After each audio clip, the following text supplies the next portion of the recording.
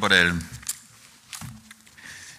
el retraso, eh, que se ha debido a que ha comenzado más tarde de lo que es habitual el Consejo, porque había primero reunión de secretarios y después comisión delegada. Y paso a darles cuenta de los acuerdos del Consejo de Gobierno de hoy, 9 de diciembre. En primer lugar, y a propuesta de la Consejería de Transparencia, Ordenación del Territorio y Acción Exterior, el Consejo de Gobierno aprueba el calendario normativo del año 2022. Calendario que, como saben, trae cuenta del acuerdo de 12 de diciembre de 2019, donde nos comprometimos a publicar el calendario normativo del año entrante, eh, donde se van a aprobar 17 proyectos de ley, 99 decretos y 18 órdenes de desarrollo. Tienen todas ellas en eh, la nota de prensa. La Consejería de Transparencia, Ordenación del Territorio y Acción Exterior subvenciona con 250.000 euros eh, diversos trabajos de memoria histórica de las universidades públicas de la comunidad y de cuatro asociaciones memorialistas de Burgos, Salamanca, Soria y Valladolid. Se trata de un convenio con las universidades públicas para elaborar el catálogo de lugares de memoria democrática, así como el censo de víctimas de la guerra la dictadura franquista en Castilla y León, y luego diferentes subvenciones a la Coordinadora Provincial por la Recuperación de la Memoria Histórica de Burgos, a la Asociación Salamanca por la Memoria y la Justicia, a la Asociación Soriana para el Recuerdo y la Dignidad y a la Asociación para la Recuperación de Memoria Histórica, eh, subvenciones destinadas a la realización de actuaciones concretas en esta materia, exhumaciones y eh, localizaciones de eh, posibles fosas. En total, son 80.000 euros para las instituciones académicas y 171.000 para las asociaciones memorialísticas. También la Consejería de Transparencia, de Ordenación del Territorio y Acción Exterior, financia con 75.000 euros la creación del Centro de Recuperación de la Memoria Histórica y de la Transición en la localidad abulense de Cebreros. La finalidad es crear el centro, eh, dotar el Centro de Recuperación de la Memoria Histórica de la Transición en la casa natal del presidente Adolfo Suárez, situada en ese municipio de la provincia de Ávila, eh, y eh, formalizaremos próximamente esta colaboración mediante la rúbrica de un convenio. También la Consejería de Transparencia, Ordenación del Territorio y Acción Exterior subvenciona con 107.000 euros la actividad de la Asociación Pajarillos Educa. Este acuerdo, con su aprobación, va a permitirnos realizar actuaciones de dinamización e impulso eh, de los entornos suburbanos, con especial atención a zonas como esta eh, afectadas por la desigualdad económica. En concreto, Pajarillos Educa trabaja por la integración social de personas y colectivos vulnerables. Perseguimos, con esta subvención eh, superior a los 100.000 euros, promocionar la evaluación de las políticas públicas, la participación ciudadana, la integración de inmigrantes, la internacionalización y la dinamización de estas zonas. La Consejería de Transparencia, Ordenación del Territorio y Acción Exterior subvenciona con 30.000 euros al Consejo de Cámaras de Castilla y León para difundir sus actuaciones relacionadas con los sectores comercial, industrial y de servicios. La Consejería de Economía y Hacienda autoriza 284.000 euros a la Cámara de Comercio de Palencia para el desarrollo del programa de Coworking Digital Palencia, para impulsar el desarrollo empresarial y la transformación digital de la provincia. La Consejería de Empleo e Industria eh, destina a la Universidad de León 60.000 euros para financiar las actuaciones de la Cátedra de Ciberseguridad. Eh, esta se eh, incardina dentro de la estrategia de ciberseguridad de Castilla y León que pretende hacer a nuestra comunidad y en concreto a la provincia de León referente en este ámbito. La Junta invierte también a través de la Consejería de Fomento 32 eh, millones, eh, una subvención directa de 22,7 millones a la que se suman otros 9,3 ya concedidos el pasado junio para garantizar la movilidad pública en Castilla y León. Se destina a los 131 titulares de las 243 concesiones de los servicios de transporte público regular de uso general de viajeros por carretera entre otras cosas para compensar el déficit de explotación y la pérdida de ingresos como consecuencia de la reducción de la movilidad provocada por la crisis del coronavirus. La Consejería de Fomento y Medio Ambiente destina también 450.000 euros al Ayuntamiento de Palencia para la remodelación de la calle Mayor Antigua de Palencia, el tramo comprendido concretamente entre la calle Doctrinos y la plaza de Pío XII para mejorar las infraestructuras y corregir la actual disparidad de materiales y alineaciones existentes. La Consejería de Fomento y Medio Ambiente también eh, aprueba la redacción de proyectos de ordenación forestal de Montes de Cervera de Pisuerga en Palencia. El Consejo de Gobierno autoriza la contratación de los trabajos de redacción de los proyectos de planes dasocráticos, estos instrumentos de ordenación forestal de acuerdo al artículo 38 de la Ley 3-2009 de Montes de Castilla y León, en 31 montes de utilidad pública pertenecientes al Ayuntamiento de Cervera de Pisuerga y a distintas entidades locales menores dependientes de los ayuntamientos de Cervera, de Esa de Montejo y Castrejón de la Peña, todos ellos en la provincia de Palencia.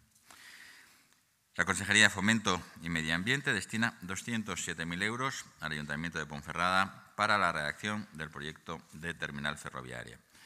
Se trata de cofinanciar la redacción de los estudios y proyectos necesarios para la construcción de un, apartadero ferroviario que va a permitir la recepción y expedición de trenes de 750 metros como primera fase de la ejecución de la plataforma logística intermodal de Ponferrada. La Consejería de Fomento y Medio Ambiente destina también una subvención de 200.000 euros al Ayuntamiento de Soria para la peatonalización del entorno de la iglesia de Santo Domingo.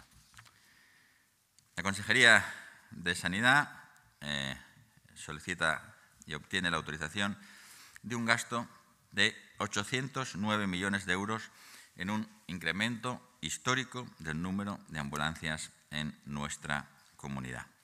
Se trata de la contratación hasta 2028 del servicio de transporte sanitario terrestre, tanto urgente como programado, con un incremento presupuestario de un 113,8% anual respecto a los importes vigentes. El objetivo de la Junta de Castilla y León es aumentar el número de ambulancias en todas las provincias, pasando de las 605 actuales a las 763 previstas en este plan. Se trata de mejorar, reforzar la cobertura asistencial, sobre todo en el medio rural, y el contrato va a tener una duración de cuatro años, prorrogable por otros dos años más. Como características importantes. Eh, hay que decir que las ambulancias de soporte vital avanzado para transporte sanitario urgente, conocidas como clase C, tienen un incremento de 29 vehículos, entre los que se incluyen recursos novedosos como los soportes vitales avanzados de enfermería. Habrá 17 ambulancias de este tipo y los soportes vitales avanzados de cuidados críticos especiales que contarán con dos vehículos de este tipo ambulancias especialmente preparadas para el traslado de pacientes que precisan un mayor volumen de aparataje, como por ejemplo ECMO, adulto y pediátrica, o para transporte de neonatos o de pacientes que hayan sufrido algún tipo de incidente nuclear, biológico, radiológico o químico. También ambulancias, en las ambulancias de soporte vital básico, la clase B, se prevé un aumento de 99 ambulancias, entre los que se van a encontrar los nuevos equipos móviles de atención continuada eh, que serán 25 ambulancias a disposición de atención primaria destinadas a dar mayor apoyo a los PAC en red de nuestra comunidad. Las ambulancias no asistenciales, clase 1 y clase A2, para transporte programado, eh, sufrirán un incremento de 30 recursos. También se incluirá en este contrato un nuevo helicóptero, serán cuatro, eh, el nuevo helicóptero de vuelo nocturno que ya habíamos avanzado. La Consejería de Sanidad también destina más de 31 millones de euros para la neurorehabilitación de pacientes con daño cerebral adquirido. Esta prestación asistencial prevé que se dispongan de 60 plazas en unidad de hospitalización de referencia para toda la comunidad y de 41 más en régimen ambulatorio, al objeto de facilitar todos aquellos medios y tratamientos necesarios dirigidos a lograr eh, la máxima funcionalidad de estos pacientes que han sufrido daño cerebral adquirido. La Consejería de Familia e Igualdad de Oportunidades aprueba una adenda al acuerdo marco de servicios sociales con 8 millones de euros adicionales para reforzar las ayudas de emergencia. Se trata eh, de eh, una nueva adenda a este acuerdo para reforzar la financiación destinada a las entidades locales eh, con esta cantidad de 8 millones destinados a, apoyar a las familias más vulnerables y hacer frente a los gastos de los suministros energéticos disparados por la crisis actual. La Consejería de Educación destina más de 7 millones de euros hasta 2023 para extender la relación entre el mundo universitario y empresarial de nuestra comunidad. Se trata del nuevo plan de transferencia del conocimiento universidad-empresa, cuyo periodo de vigencia se extiende desde el 1 de septiembre de 2021 hasta el 31 de octubre de 2023, con un presupuesto total, como hemos dicho, de 7.182.000 euros que se enmarca dentro de la Estrategia Regional de Investigación e Innovación eh, para una especialización inteligente eh, RIS 3. Se trata de estimular el espíritu emprendedor, la creación de nuevas empresas, mejorar la cultura científica, mejorar la transferencia tecnológica e incrementar también las vocaciones relacionadas con la ciencia y la tecnología en nuestra comunidad.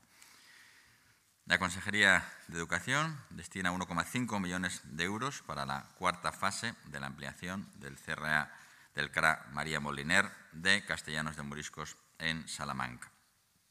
Se prevé el inicio de las obras a mediados del próximo mes de enero. La Consejería de Cultura y Turismo destina 175.000 euros para la celebración de la eh, edición número 36 de la Vuelta Ciclista Internacional a Castilla y León, que se desarrollará en dos etapas, Zamora-Salamanca y Guijuelo, dando visibilidad a la Ruta de la Plata en nuestra comunidad. La Consejería de Cultura y Turismo destina 92.000 euros para intervenciones en la iglesia de San Lorenzo Mártir de Fuente Odra, en Burgos. También la Consejería de Cultura y Turismo concede 103.000 euros para el desarrollo del proyecto Paisaje Minero de Vallejo de Orbó, en Palencia, que se llevará a cabo por la Asociación para la Recuperación del Patrimonio Industrial del Norte. La Consejería de Cultura y Turismo destina también, por último, una subvención de 4.000 euros para la Federación de Lucha Leonesa de Castilla y León. Fuera del orden del día, se ha comunicado el nombramiento como director general de Transparencia de don Enrique Rivero, doctor en Derecho por la Universidad de Salamanca y con amplia experiencia en Derecho Administrativo. Incorporará a las tareas de la Consejería de Transparencia, como digo, como eh, director general de Transparencia en sustitución de don Joaquín Meseguer. Aparte de este asunto, y analizada la situación epidemiológica en nuestra comunidad, se ha decidido finalmente descartar eh, la implantación del pasaporte COVID en nuestra comunidad en este momento.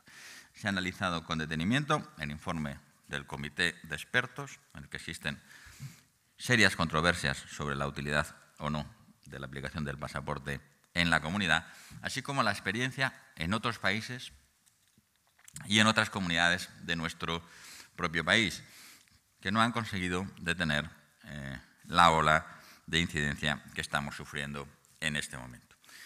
Eh, hay muchas cosas encima de la mesa y hay una controversia por parte eh, de los expertos. No, no, es solamente una controversia política, sino la utilidad de generar una sensación de falsa seguridad que creemos puede contribuir a no mejorar la situación epidemiológica en nuestra comunidad. Sin embargo, sí creemos que es un momento eh, para apelar a la responsabilidad de todos, de todos los ciudadanos y de todos los sectores, de todos los sectores de actividad, para exigir mayor responsabilidad haciendo una campaña en positivo. Creemos eh, que es momento ya, después de ya casi dos años de pandemia, de solicitar la colaboración de todos, de los ciudadanos, eh, desde el punto de vista individual, pero también de los sectores, para conseguir en la medida de lo posible, durante las próximas semanas, que nuestros entornos laborales y de ocio sean lo más seguros posibles. Conseguir eh, concienciar a todos los sectores sobre la importancia de la vacunación, de eh, la ventilación, del mantenimiento de las medidas de seguridad recomendadas. Eh, y para ello vamos a convocar a todos los sectores a una reunión con el fin de diseñar una campaña de promoción de entornos seguros en nuestra comunidad. Se trata de que los ciudadanos sean responsables de que la situación es una situación eh, importante, que estamos viviendo eh, en mitad de una nueva ola pandémica y que tenemos que mantener la seguridad y la actividad al mismo tiempo. Y tenemos que hacerlo con responsabilidad, con responsabilidad, insisto, tanto individual como colectiva. Nuestra campaña de vacunación está yendo a muy buen ritmo, estamos protegiendo a las personas eh, de mayor edad, los mayores de 60, los mayores de 70, eh, estamos por encima del 80% ya en los mayores de 70. Vamos a iniciar nuestra campaña de vacunación eh, a menores de 12 años la próxima semana, si nos llega el suministro como está previsto. Y ahora mismo lo importante para todos es evitar situaciones de riesgo, evitar incumplir las medidas y concienciarnos de la importancia de la vacunación. Por tanto, mañana mismo, si es posible, convocaremos a todos los sectores para diseñar esta nueva campaña, pero queda en este momento descartada la implantación del certificado COVID como obligatorio eh, en eh, ningún local de nuestra comunidad. Y quedo a su disposición para las preguntas que nos quieran hacer en este momento. Buenos días. A mí me gustaría preguntarle, porque dice que la controversia no solo es política, sino que también es eh, sobre lo que consideran los expertos que es útil o no. Eh, me gustaría saber si ha habido controversia política, como primera pregunta. Eh, y después me gustaría, respecto a otro tema, se sigue hablando de un posible adelanto electoral. Hoy Luis Tudanca ha dicho al respecto que es una manera del Gobierno de Castilla y León, del Partido Popular, de tapar sus vergüenzas en corrupción política, pero tampoco ha precisado si él descarta presentar una nueva moción de censura. Sé que está cansado de hablar de este tema, pero me gustaría saber su opinión. Gracias. Aunque esté cansado, es mi obligación. Eh, mire, yo no sé con qué carta quedarme, porque creo que la propia Adriana Lastra ha dicho hoy, si yo no tengo mal entendido, que el Partido Socialista descarta presentar eh, una moción de censura. No nos preocupa en absoluto lo que vaya a hacer el Partido Socialista. El Gobierno no está preocupado de lo que vaya a hacer el Partido Socialista. El Gobierno está ocupado de lo que tiene que hacer desde sus responsabilidades en este momento por la recuperación económica de la comunidad y la lucha contra la pandemia. Lo que vaya a hacer el Partido Socialista, le insisto, no nos preocupa en absoluto. Nos da igual. Haga lo que. ¿eh? Sobre eh, si ha habido controversia eh, política eh, ha habido controversia política porque hay controversia científica. Si no hubiera controversia científica, no habría controversia política. Si tuviéramos claro desde el punto de vista sanitario la eficacia o no de esta medida, habríamos tomado la determinación que hubiéramos entendido que es más razonable. Pero si la pregunta es si ha habido controversia política desde el punto de vista de si hay dos posturas dependiendo de quién milita en cada sitio, no, no es verdad. No, ha habido una controversia dentro, pero no puedo ir al detalle, ¿eh? pero no hay una división política entre partidos. ¿eh? Hay una división sobre la utilidad o no utilidad política eh, para concienciar a la gente y qué efecto tiene esto.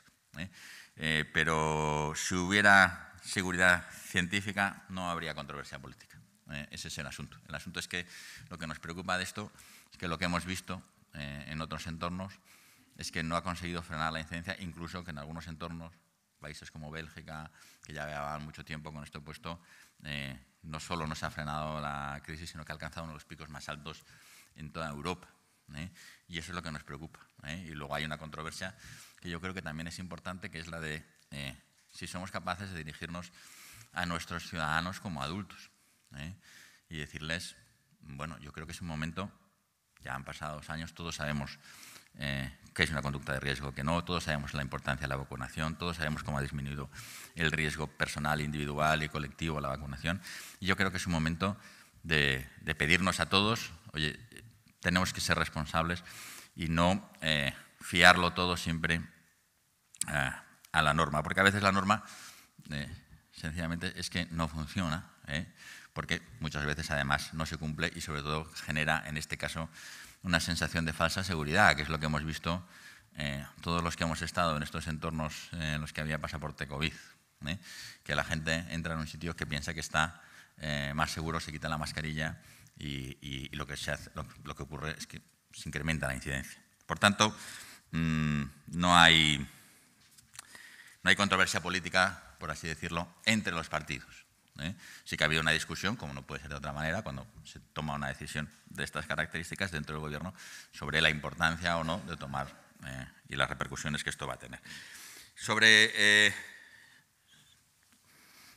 tapar las vergüenzas, mm, de verdad, es que yo, creo que los ciudadanos ya están cansados de este asunto, de este ejercicio permanente del y. Es que todos leemos la prensa por la mañana y todos leemos la prensa nacional, regional, vemos las cosas que pasan.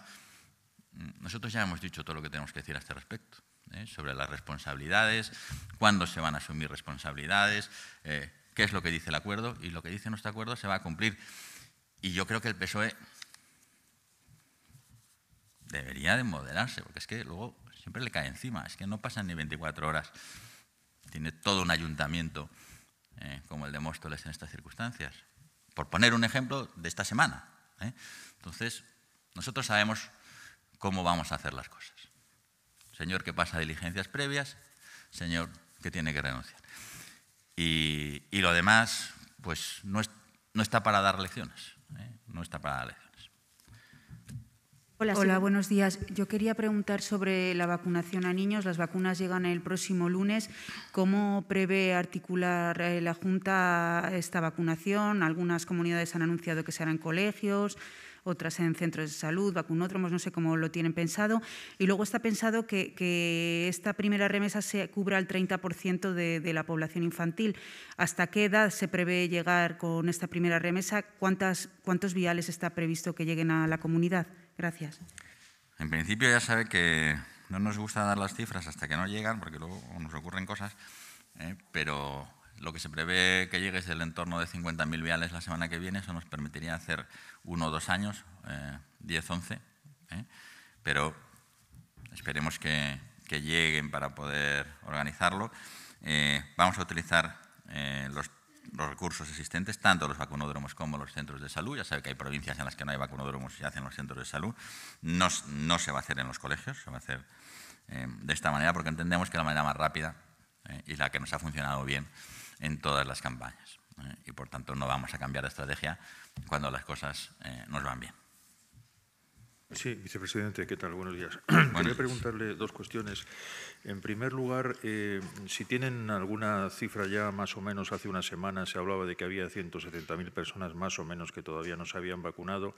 ¿Tenían alguna cifra de, esas personas si ya se han vacunado con la primera dosis, más o menos cuántas personas se habrían vacunado? Y luego sobre cómo va el expediente del concierto este de Valladolid, de, Taos. Eh, sobre las cifras, no es que tengamos una cifra aproximada, es que las publicamos todos los días. Quiere decir que están publicadas en la, en la, en la página de transparencia, está publicado el porcentaje de vacunación por tramos de edad, el número de vacunas, por tanto, allí lo tienen. Eh, estamos incrementando eh, ligeramente los porcentajes de vacunación en aquellos tramos que teníamos eh, menos porcentaje, pero el número exacto de vacunas puestas cada día lo, lo ponemos en la página y allí podrá encontrarlo. Eh, la otra pregunta era sobre el expediente. No le puedo decir en este momento en qué fase está el expediente. Eh, sé que ayer me comunicó eh, el delegado territorial de la Junta que iniciaban su tramitación, pero de, ayer a hoy no tengo ninguna noticia más.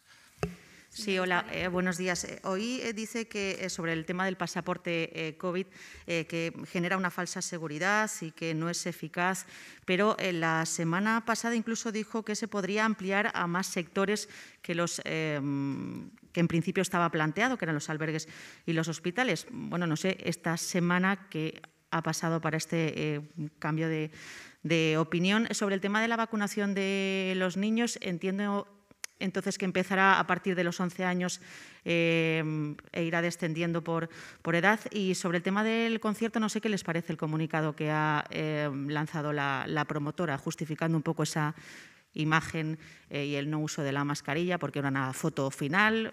Bueno. bueno, sobre eh, ¿Qué ha cambiado? No, ha cambiado nada. Eh, esencialmente, lo que dijimos la semana pasada es que la sentencia del TSJ, eh, en lo que respecta al País Vasco, ampliaba las posibilidades, si no recuerdo mal, es lo que dije, ampliaba las posibilidades de poder implementarlo en otros ámbitos que no fuera solamente los que nosotros teníamos inicialmente previstos. Lo que ha cambiado es que hemos tomado una decisión. El problema es que nosotros teníamos un informe, lo dijimos desde el primer día del comité de expertos, en el que había una seria controversia sobre la aplicación o no eh, del pasaporte. Lo que ha cambiado es que hemos visto pasar el tiempo, también hemos visto pasar el tiempo en las comunidades que lo han impuesto, hemos visto pasar el tiempo en otros países y hemos llegado a una conclusión que es, en este momento, a nosotros nos parece que no, eh, no hay relación eh, coste-beneficio, que el beneficio no es no, no, no, nos, no, nos, no es que no nos obligue, no nos asegura que la medida sea eficaz. Eh, de hecho, lo que estamos viendo eh, por los números, es que no, no está surtiendo, el efecto que nosotros creíamos y que eh, la sensación de, de, falsa seguridad que genera es más peligrosa que el pequeño impulso que pudiéramos dar a una campaña de vacunación que podemos impulsar de otra manera y que ya está yendo muy bien. Esto tiene una ventaja en aquellos sitios en que tienes que mejorar mucho tu margen eh, de vacunación, que tú con esto provocas eh, un incremento del porcentaje de población vacunada, pero nosotros estamos hablando de porcentajes de población vacunada mayores de 12 años por encima del noventa y tantos por ciento. Es que casi no hay casi nadie en el mundo que tenga nuestro porcentaje mm, de vacunación. Por tanto, el beneficio posible o esperado eh, no compensa el riesgo de la sensación de la falsa eh, seguridad que pueda. Y lo que ha ocurrido es que hemos tomado eh, esta decisión. Sobre la, la, campaña de menores, efectivamente, empezaremos de los 11 e iremos descendiendo por tramos de edad, como hemos hecho en las otras campañas. ¿Empezar la próxima semana ya? Sí, nuestra intención es empezar la próxima semana. ¿Y va a ser hacer, o sea, los niños tienen que ir con los padres o dar un consentimiento como en otras ocasiones? Tienen que ir con los padres, claro. Con los Niños de 11 años. Y luego me gustaría saber eh, qué ha pasado con. Eh, la semana pasada nos dijo que iban a esperar a que estuviera la consejera sobre la posibilidad de, pagar un test eh, de antígenos gratis o varios, los que hicieran falta. Esa medida, ¿cómo, cómo, ha quedado? también hemos descartado esa decisión. Entendemos que es una decisión de poca efectividad desde el punto de vista clínico epidemiológico. Eh, creemos que es bueno que la gente se realice test de antígenos cuando está sintomático, los test de antígenos cuando están asintomáticos eh, como prevención ya han demostrado que no son una buena estrategia, en principio. Por tanto, eh, no vamos a tomar esa decisión, que desde nuestro punto de vista no es coste efectiva. Sí, eh, la, próxima semana no sé si nos puede eh, concretar el, día en el que empezará la, vacunación. Déjenos que lleguen las vacunas, eh, pero en principio lo vamos a empezar la semana que viene. Pero es que ya nos ha pasado que hemos hecho anuncios aquí que luego no llega el suministro. En principio está previsto que llegue el 15. Nosotros pretendemos empezar la semana que viene, pero déjenos que lo comprobemos perdón que insista por la pregunta que he hecho antes, el comunicado de la promotora del, concierto del pasado fin de semana. Bueno, yo creo que, decir, creo que eh, una imagen vale más que mil palabras, eh, es suficiente.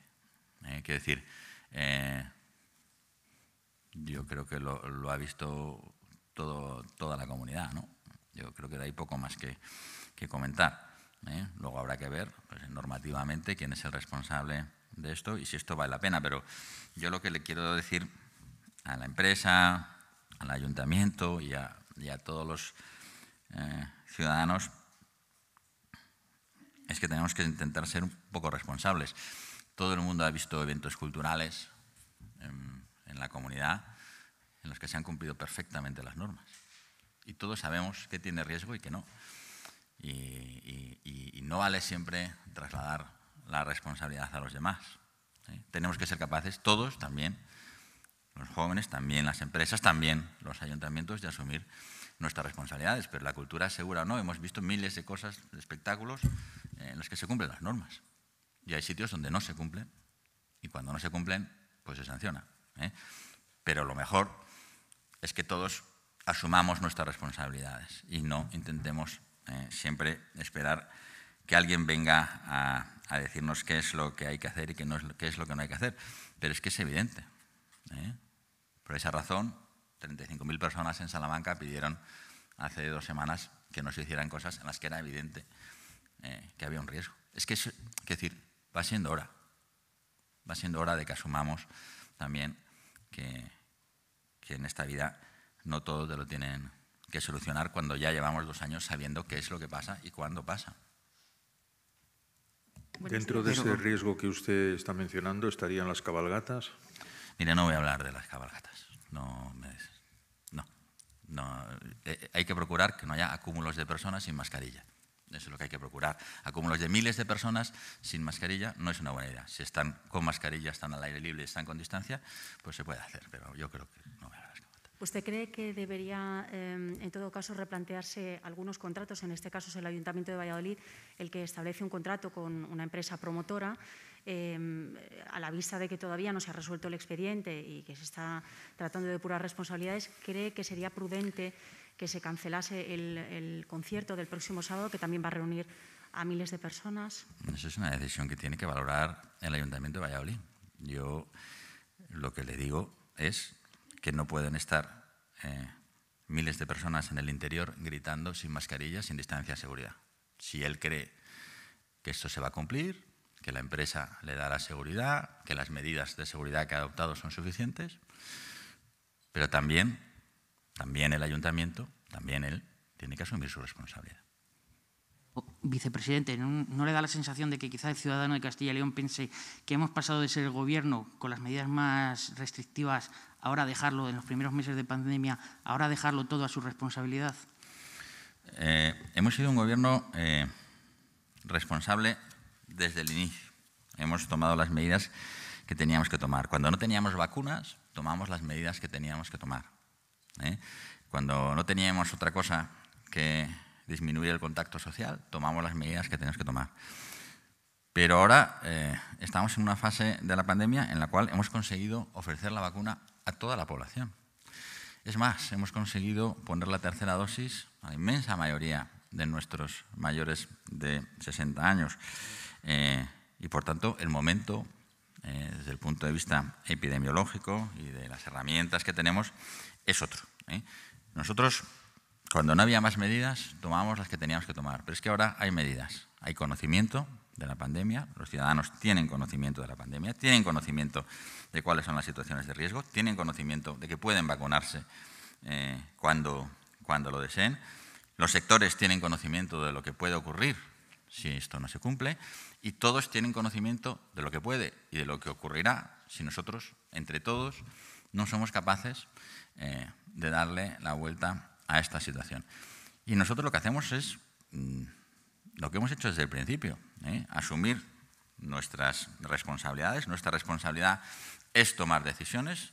Eh, aquí hay muchas decisiones que se pueden tomar. Una de ellas era la del pasaporte. Hemos valorado cuál es la situación epidemiológica y cuál es la experiencia y hemos tomado una decisión. Decisión unos han tomado a favor, otros en contra y otros, como siempre, no han tomado ninguna, nos han dicho apáñense ustedes. Bueno, nosotros tomamos decisiones. ¿eh? Y tomamos las decisiones de acuerdo a nuestro criterio desde el punto de vista epidemiológico, con el asesoramiento de nuestros científicos, de nuestro comité de expertos, ese comité que sí que existe, que tengo su acta aquí recogida, en la cual nos dice cuál es la valoración en concreto de esta medida. Y con esa valoración tomamos una medida. Nada diferente a lo que hemos hecho a lo largo de toda la pandemia. Cuando nuestro comité de expertos nos decía, oye, tenéis que cerrar y la gente no quería, nosotros cerramos. Cuando nuestro comité de expertos nos dice, mira, esto es poco útil, no nos parece apropiado, pues tomamos eh, otra decisión. ¿eh? Y es exactamente igual que hemos hecho a lo largo de toda la pandemia.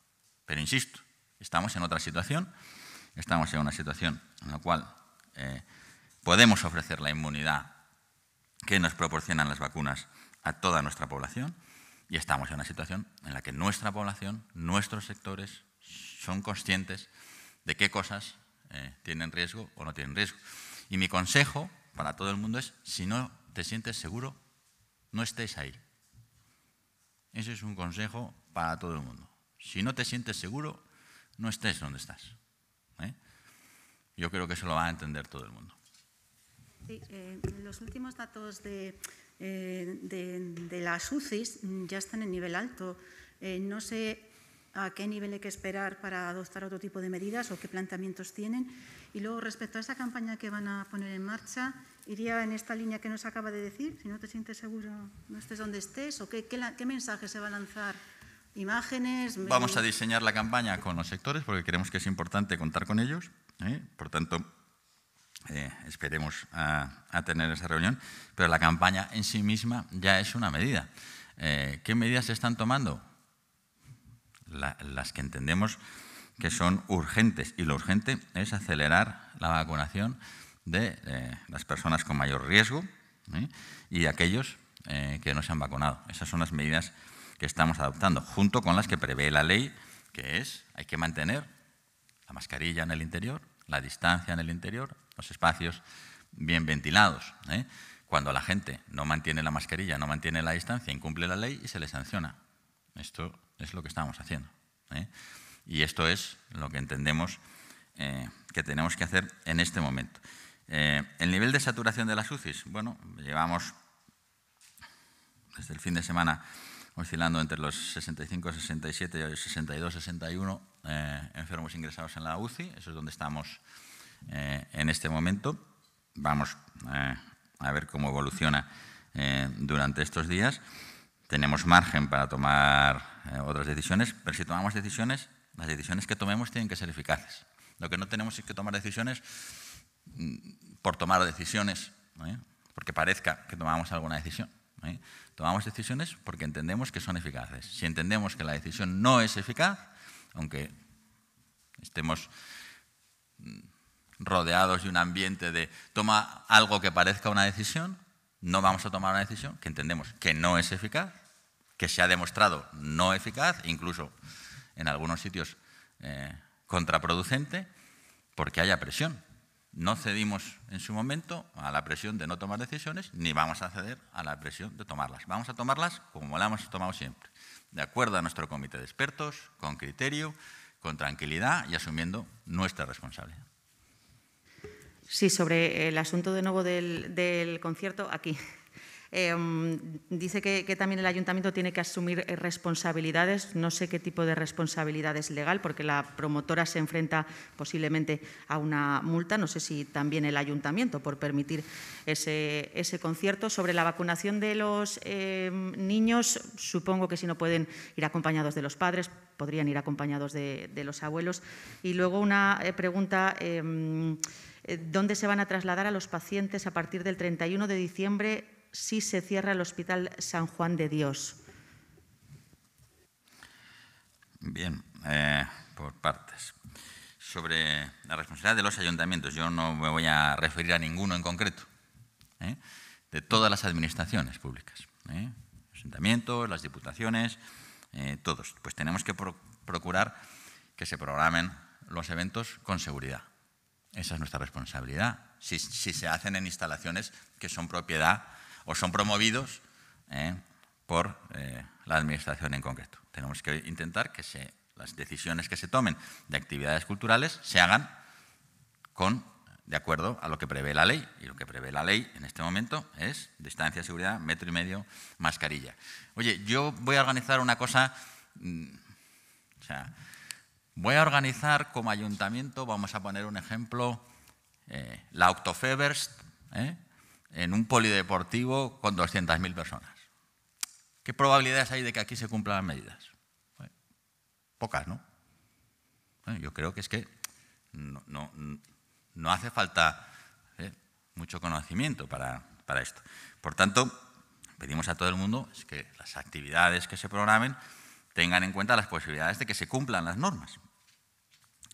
Los niños pueden ir acompañados a los abuelos, sí, pero tienen que ir con un permiso paterno, porque quien es responsable eh, eh, son eh, los padres, tienen que ir con una autorización por parte de sus padres. Mejor, si es posible, que vayan con sus padres. ¿Qué va a ocurrir? Bueno, cuando se cierre San Juan de Dios será asumido, se está preparando también el Hospital Divino Vallés para poder acoger eh, esta, esta, patología, pero será asumido eh, por el Hospital de Burgos.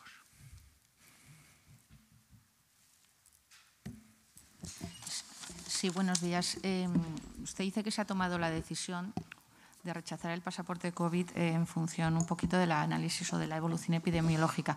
Me gustaría que nos hiciera una pequeña valoración de la situación actual a nivel epidemiológico de la comunidad después de un fin de semana en el que bueno, pues los últimos datos que tenemos, los del martes, pues eran un poquito alarmantes. Y sobre todo me gustaría también conocer su opinión de qué nos espera o con qué eh, previsiones trabaja la Junta en este sentido, si el techo está lejos, está cerca o lo peor está por llegar. Bueno, mm, la... ¿dónde va a estar el techo? No lo sabemos, ¿eh? sabemos cómo se han comportado las olas con anterioridad y esperamos un comportamiento parecido. ¿eh? Eh, el techo lo marca cuando la primera provincia empieza a hacer la, inflexión. Habitualmente si ven las olas que hemos, están publicadas en la página, ven más o menos cómo se comportan todas las provincias de un modo más o menos simétrico. Hay una, habitualmente una provincia que sube más arriba que nadie, todas funcionan más o menos en paralelo, como funciona en el conjunto del país en paralelo. Nosotros esperamos no estar muy lejos del tope en este caso, pero también estamos seguros de que después de Navidades habrá más. Cuanto más contacto social, eh, eh, esto ha ocurrido todas las veces. ¿Cuál es la situación epidemiológica en este momento en la comunidad? Miren, nosotros ahora mismo tenemos 62 pacientes eh, en la UBI, tenemos uno más que el martes, la ocupación COVID es de 18,7 sobre estructuradas, de 16,6 sobre las habilitadas en la UCI extendida. Tenemos 315 pacientes en total hospitalizados.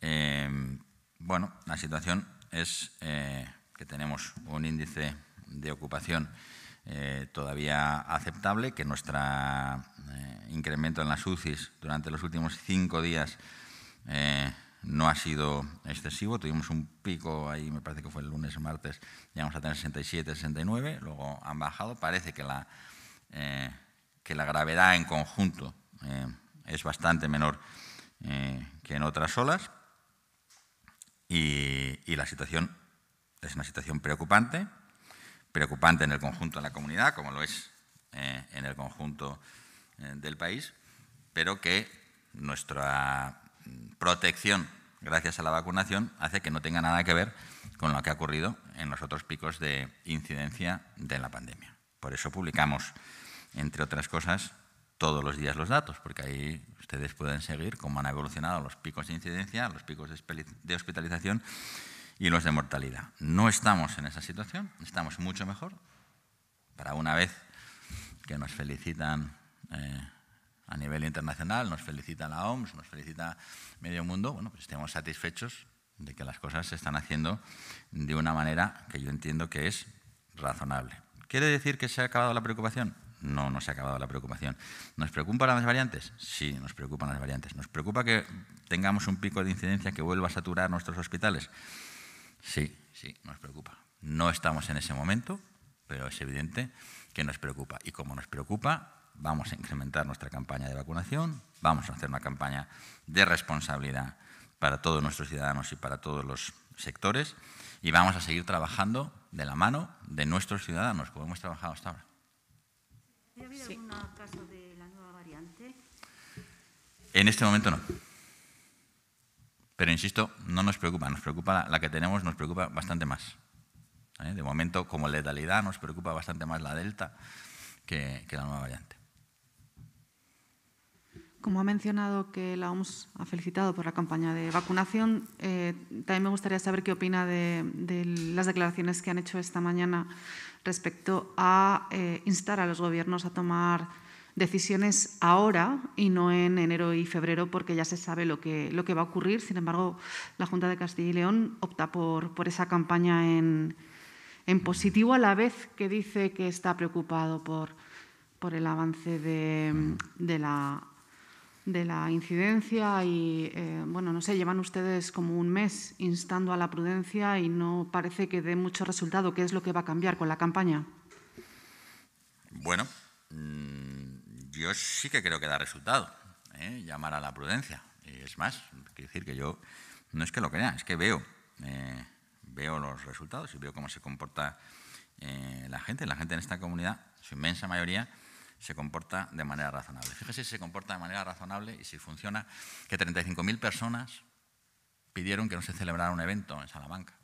En Salamanca. Haga el cálculo. Cualquier petición de firmas de España ha sido batida ¿eh? por el ejercicio de responsabilidad de los ciudadanos de Salamanca. ¿eh? Yo creo que es muy bueno que los ciudadanos eh, ejerzan con responsabilidad sus, sus derechos. Por tanto, no creo que no funcione. Hay que tomar decisiones, sí, pero hay que tomar decisiones que sean efectivas. ¿eh? Eh, ¿Qué decisiones eh, son efectivas? ¿El pasaporte COVID es efectivo? Pues nadie lo ha demostrado. No solo nadie lo ha demostrado, sino que lo que sabemos, insisto, por la experiencia que tenemos, y la ciencia es así, es que no ha funcionado desde el punto de vista epidemiológico. No hay nadie que nos pueda decir que está funcionando, pero no se lo estoy diciendo yo, insisto, lo está diciendo nuestro comité de expertos y como nuestro comité de expertos tiene muchísimas dudas a este respecto, cree que genera controversias, cree que genera eh, falsa sensación de seguridad, cree que el margen de beneficio es incrementar eh, el porcentaje de población vacunada, que en unos sitios donde tu porcentaje de población vacunada es más bajo puede ser más útil que en otros sitios donde nuestro porcentaje de vacunación es más alto, tomamos la decisión de tomar eh, este camino que a nosotros nos parece eh, mejor, nos parece mejor desde el punto de vista científico, desde el punto de vista epidemiológico. ¿Puede que sea necesario tomar medidas restrictivas en un futuro de medio plazo, más o menos de medio plazo? Pues puede que sea necesario. Eh, la campaña de la OMS, como usted muy bien dice, insta a los gobiernos a tomar medidas. Tenemos un gobierno nosotros, un gobierno autonómico y otro central. Nosotros tomamos medidas. Nosotros hoy hemos tomado una medida. Eh, hemos tomado medidas durante todos estos meses. Quien no toma medidas es quien tiene que pensárselo. ¿eh? Pero nosotros no, nosotros tomamos medidas. Y si tenemos que tomar más medidas, tomaremos más medidas. Pero no somos nosotros el gobierno que no toma medidas. El gobierno que no toma medidas es el que no las toma. Es el que ha renunciado a ejercer el liderazgo eh, en la crisis. Oiga, que, esto mm, es evidente, es evidente de toda evidencia. Es que ya lo ha visto todo el país. ¿eh? No, nos digan a nosotros que tienen ustedes que tomar. Si nosotros somos los que tomamos las medidas, los que no toman las medidas son quienes no las toman. ¿O no ha oído usted a la ministra de Sanidad que no vamos a tomar más medidas? ¿O no ha oído usted al presidente del gobierno? Estamos en otro escenario, eso dice el presidente. El presidente del gobierno renuncia a ejercer liderazgo y a tomar medidas. Bueno, pues eso es lo que hay. ¿eh? Pero no nos diga que somos nosotros quienes no tomamos medidas, porque nosotros hemos tomado medidas, tomamos medidas, tomamos decisiones y seguiremos tomando decisiones a medida que sean necesarias. Y las seguiremos tomando, insisto, como las hemos tomado desde el principio, de la mano de nuestro comité de expertos, de la mano de la racionalidad, de la mano del conocimiento de la evolución de la epidemiología en los otros sitios donde se han tomado otras medidas. De momento, la medida más eficaz es ser lo más eficaces posibles y lo más rápidos posibles en la vacunación. Y en eso nosotros seguimos liderando la vacunación en un país que lidera la vacunación en el mundo. ¿eh? Y nos va bien. Y vamos a procurar que nos siga yendo bien. Sí, teniendo en cuenta la alta incidencia, no sé si el comité de expertos les ha planteado modificar el protocolo de las cuarentenas, porque actualmente mm, casi mm, la única persona que tiene que guardar cuarentena es la persona que está enferma. Tienen los contactos estrechos y están eh, con la doble pauta, no tendrían que los guardar contactos estrechos, si son positivos, sí. Si no son positivos, no. ¿eh? Claro, es que las cuarentenas se han modificado también de acuerdo al grado de inmunización. Por tanto, eh, hay una modificación que es, está en vigor en Europa, que son aquellos que hayan estado en contacto con un caso de variante Omicron, que van a estar en cuarentena en cualquier caso, ¿eh?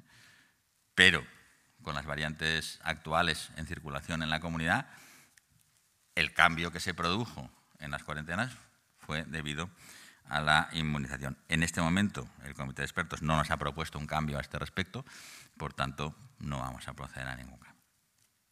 Me gustaría preguntarle por el, nuevo contrato de transporte sanitario. Eh, llevan varios meses eh, los trabajadores pidiendo una mejora de las condiciones laborales y salariales. No sé si este contrato que se pone sobre la mesa va a permitir eh, ese avance y si mm, recoge algún tipo de exigencia a, quien se haga cargo en términos salariales. Hoy, hoy, no se aprueba el contrato, hoy lo que se aprueba es la dotación para realizar ese pliego. ¿eh? Eh, pero sí que le digo que se ha hecho eh, el cálculo calculando el incremento que se solicita por parte de los trabajadores.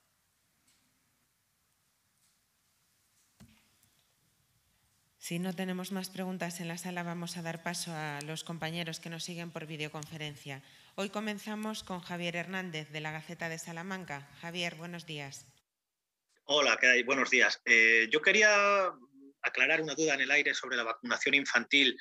Se, vacuna a los niños porque ahora mismo están protagonizando miles de contagios y la duda es precisamente qué pasa con esos miles de niños que ya han pasado la enfermedad no sé si esos no van a vacunarse, sí con una dosis o sí con las dos dosis, independientemente de que ya hayan pasado la enfermedad. Nada más. Muchas gracias. Pues he de decirle eh, que es eh, una buena pregunta. En principio, todos los que han pasado la enfermedad son vacunados al menos eh, con una dosis en, el ámbito de los de los adultos. Sobre eh, la siguiente dosis no se lo puedo contestar en este momento, preguntaremos a Sanidad y se lo, se lo haremos llegar porque es una buena pregunta, pero no tengo respuesta en este momento. Continuamos entonces con la opinión de Zamora. Carlos Gil, adelante. Hola, buenos días, señor Igea. Eh, yo le quería preguntar, eh, ¿por qué no regulan un poquito, eh, aunque, aunque ha argumentado ya suficientemente, pero mm, no lo acabo de entender, ¿por qué no regulan concretamente el, tema de, de, las cabalgatas? No sé si están siguiendo la postura un poco del gobierno central, que sean los ayuntamientos los que allá se entiendan y, decidan. Cuando es una cosa tradicional, que se sabe que va a haber aglomeraciones, se podía dar por lo menos unas recomendaciones por parte de la Junta de Castilla y León. Por, eh, respecto al pasaporte COVID, le quería preguntar qué peso ha tenido la negativa de los hosteleros a la hora de, tomar la decisión de no adoptarlo en, en Castilla y León. Y la última pregunta era si prevén eh, en la vacunación infantil que haya más negativas familiares que, con la vacunación de adultos. Muchas gracias. Bueno, eh, es que no vamos a hacer ninguna regulación ni sobre las cabalgatas ni sobre los juegos de petanca. Es que hay una ley que dice que hay que evitar las situaciones donde la gente eh, produce aglomeraciones, está a menos de metro y medio y no usa mascarilla. Y ya está. Y, no, y yo creo que ya todos somos conscientes de cuando provocamos o no provocamos una situación de riesgo. Pero yo esto creo que no se lo tengo que explicar mm, a nadie y mucho menos a ningún alcalde. Oiga, ¿usted es capaz de convocar a 5.000, 10.000, 15.000, 20.000 personas que guarden la distancia, seguridad eh, y estén con la mascarilla? Adelante. No lo es, no lo haga. Me da igual el tipo de evento que sea. Un concierto de en Rosalén o una cabalgata o lo que usted le parezca. ¿Usted es capaz de convocar personas que marquen con un sitio marcado, donde la distancia está asegurada, al aire libre, con mascarilla? Adelante. ¿No lo es? Mi consejo es que no lo haga. ¿eh? Eh, pero es mi consejo, el del gobierno, y lo que marca la ley. Es que yo no, no veo la necesidad de explicar esto más veces somos mayores de edad. Yo creo que los alcaldes también son mayores de edad, por lo menos algunos. ¿eh? Entonces, hay que empezar a tratar a los responsables públicos, también a, los alcaldes, como mayores de edad. Oiga, ¿usted cree que esta situación eh, es segura? Adelante. ¿Usted cree que no es segura? Pues, mi consejo es que no lo haga, si no va a ser capaz de controlar la situación. Es, que es muy sencillo, es que la gente tiene que ser capaz de asumir sus responsabilidades. Em, si va a haber más negativas familiares en las campañas de vacunación infantil, nosotros eh, esperamos que no, y nosotros lo que eh, le decimos a, los padres y, como decimos a los ciudadanos en general, que confíen en la ciencia. ¿eh?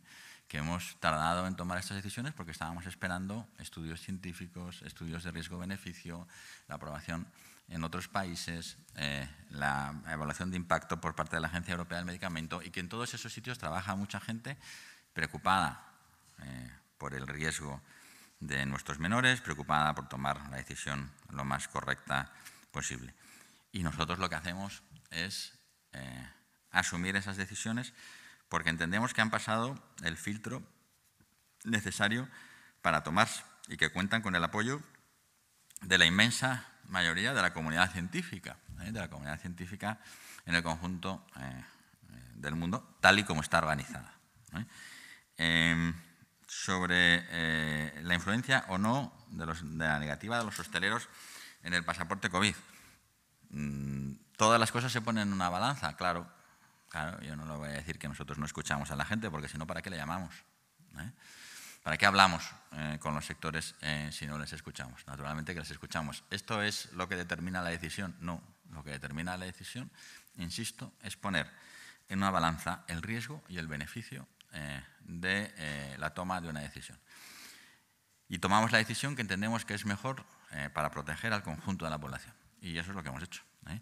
¿En eso influye la actitud de los sectores? Claro, si los sectores no quieren aplicar la medida es más difícil de que se aplique de manera eh, sensata, es más difícil de que simplemente eh, de una manera mm, eficaz y eso también influye, claro que influye en la toma de decisiones, por supuesto. No es lo mismo en una situación que en la otra y también influye lo que hemos visto a lo largo de estos días en algunos sitios donde está implantado el pasaporte COVID y yo he decirle, he pasado el puente en un sitio donde está implantado el pasaporte COVID y solo una vez me lo han pedido. Y esta es eh, la realidad. No, no, sé si eso eh, sirve de mucho. ¿eh?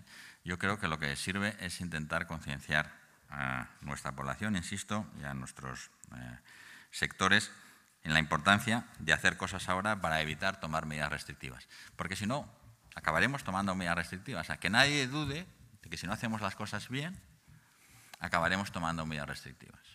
Seguro. ¿eh? Si la incidencia sube, si nuestras UCI se saturan, habrá que acabar tomando medidas restrictivas. Y lo que tenemos que hacer ahora es trabajar, concienciarnos eh, para tomar eh, las medidas necesarias. Y sobre todo para protegernos. Porque a mí no me preocupa mucho, hay, un debate muy intenso sobre el asunto de la libertad o no. Y, yo creo de verdad eh, en la libertad, pero lo que me preocupa de este debate es que eh, algunos tipos, eh, en nombre de la libertad, van a acabar boca abajo intubados en una UBI. Y ahí sí que no te van a elegir. No a elegir si te intuban o no te intuban. Ahí o te intuban o te mueres. Entonces, lo que queremos es protegerles, también a ellos. ¿eh? Queremos proteger también a quienes no creen en la ciencia. Queremos proteger también a quienes eh, piensan que, son inmunes. ¿Por qué? Porque es nuestra obligación. Y por eso tomamos las medidas, insisto, que entendemos que son más eficaces. Seguimos ahora adelante, nos quedan dos intervenciones más y la primera de ellas es la de Elizabeth Alba de Ileón. Cuando quieras, Elizabeth.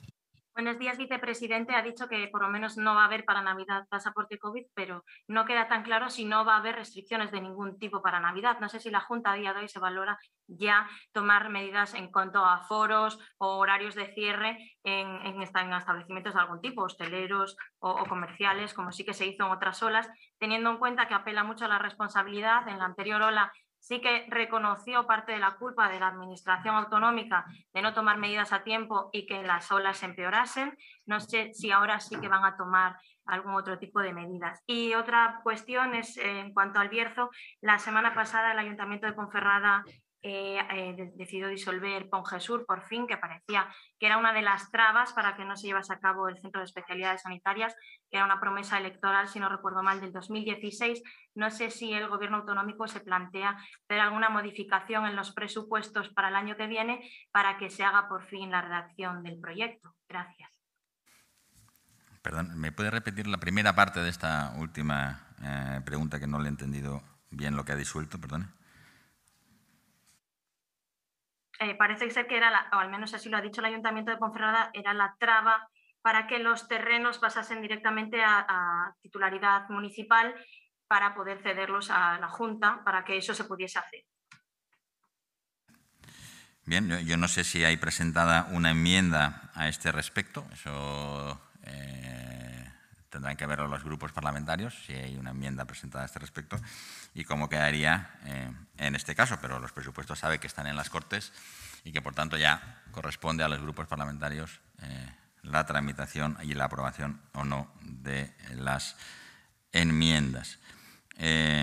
sobre la otra pregunta, que era si nosotros, cuál es la diferencia entre esto y el año pasado, la diferencia es bastante evidente. ¿Eh? La diferencia es que hemos vacunado al noventa y tantos por ciento de la población. Es que nuestra obligación ¿eh? era ofrecer la vacuna a toda la comunidad y protegerles. Quien, no, quien ha decidido no protegerse mm, está en su ámbito de decisión. ¿eh? Nosotros lo que hemos hecho es tomar decisiones. ¿Es posible que tomemos medidas restrictivas? Le insisto, sí. Es posible que tomemos medidas restrictivas si la situación eh, no, no mejora en las próximas semanas y se produce una situación de saturación hospitalaria. Y eso lo sabemos todos los que estamos en el Consejo de Gobierno y lo saben todos los ciudadanos. Por eso vamos a intentar trabajar con nuestros ciudadanos para completar nuestra campaña de vacunación, tomar medidas eh, en conjunto, de acuerdo con todos los sectores, para que los locales sean lo más seguros posibles para que los interiores sean lo más seguros posibles, pedir a nuestros ayuntamientos también que eviten situaciones eh, multitudinarias de riesgo y, esa es nuestra línea de trabajo en este momento ¿eh? y creemos que en este momento es la línea más adecuada. Pues vamos a cerrar este turno de preguntas eh, de hoy con Soria Noticias. Encarna Muñoz, adelante cuando quieras. Hola, buenos días. En la mañana de hoy, la plataforma Soria ya ha anunciado una concentración para el próximo 18 de diciembre, en la que, bajo el lema La espera nos mata, van a exigir una vez más que se cubran las vacantes existentes de, de, profesionales sanitarios para que también se puedan reducir las listas de espera. Y no sé, me pregunto si la respuesta que se les podría dar sigue siendo la misma de siempre, la de que las bolsas de profesionales siguen vacías. Muchas gracias. Es que podemos pedir las mismas cosas 70 veces 7, pero es que las bolsas están vacías, es que tenemos un problema de cobertura de profesionales aquí y en toda España. Y, he de decirles una cosa, a pesar de lo que algunos creen, no, no se solucionan con una pancarta, se solucionan gestionando y tomando decisiones y administrando los recursos cuando estos son escasos. Sujetar pancartas, desgraciadamente, no soluciona nada. ¿eh? Eh, y yo eso lo entiendo desde el punto de vista de una plataforma ciudadana que exige el cumplimiento, no lo entiendo desde el punto de vista de algunos partidos que también han decidido que a ver si una pancarta eh, aparecen los profesionales. Mm, no van a aparecer. Lo que tenemos que hacer es reordenar. Por esa razón, hemos tomado la decisión de elaborar un mapa de dónde están nuestros recursos, de cuál es la frecuencia que tienen, cuál es la frecuencia de consultas, dónde eh, podemos tomar decisiones, donde tenemos que tomar decisiones, eh, para eh, tener una asistencia, una atención primaria lo más uniforme y de mejor calidad posible. Y tenemos recursos, tenemos recursos. La gente tiene que saber que tenemos los recursos. Lo que tenemos que hacer es tomar las decisiones. Y para tomar las decisiones con racionalidad hay que analizar zona por zona de salud donde se necesitan más recursos, donde hay que reordenar, donde hay que tomar otras decisiones. Y así es como se van a solucionar las cosas. Como no se van a solucionar las cosas, es pidiendo por enésima vez que aparezca algo que no existe. Es que no hay facultativos. Los facultativos se están jubilando, eh, eh, los facultativos que hay especialistas en medicina de familia son los que hay y no van a aparecer por mucho que nos manifestemos. ¿Alguna pregunta más? Pues terminamos aquí. Gracias. Muchísimas gracias.